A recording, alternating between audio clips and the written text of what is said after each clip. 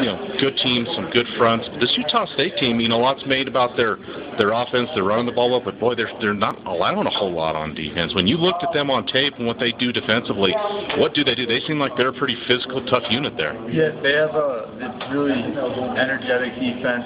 Um, a lot of high motor kind of guys. Um, they're gonna blitz you, um, and you know it's a defense that you can't sit back and, and wait for a big play. You're probably gonna have to grind out some long drives. You saw BYU take and put a 96 yard drive together. And, you know, that's what I think we're going to have to do with these guys. Mm-hmm. It's not going to be a, a big play sort of game. Right. Grind. What's it like for an offensive lineman when you are part of those long drives, you know, 10 plus plays, 80 plus yards or whatever? I mean, you know, look, that must be tiring, but is it, is it, is it kind of just adrenaline get going? As an offensive lineman, do you relish those opportunities to just drive it down someone's throat for five or six minutes or 10 or 12 plays? Yeah, I mean, it, it's really, it is rewarding to do those kind of plays. It, takes a lot out of a defense when you're on the field for that amount of time. And, and you, we've done it a couple times here, and just the capitalizing uh, with the touchdown at the end of the drive um, is great. You know, it gives our defense time off the field that they need. Um, so yeah, we I we don't really get tired. The coaches do a great job of conditioning us to get ready for drives like that. Cause drives like that that win games. Right.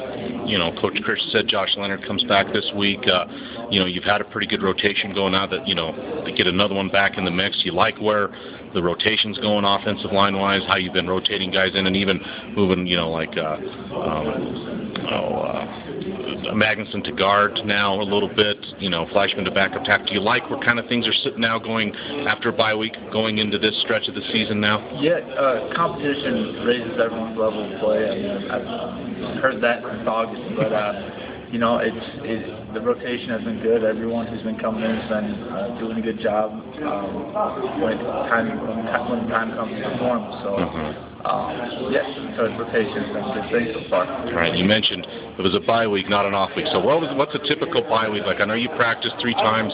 What was that like? What's a typical bye week like? I suppose I know you didn't have one last year, so maybe you can't say what a typical one's like. But what was this bye week like for you guys? Um, you know, the bye week gives you a good chance to look at, look at the competition. We got to watch them on Friday against BYU. and We got to watch them on film before that, their previous games, and I mean, you get the free practices and stuff, but a, a lot of it's the mental preparation that, that aids the team going through a bye week. Mm-hmm. Did you do anything fun or relaxing in, in some of your off time in this bye week, or or is there really ever such? It really is, is there a time for any of that?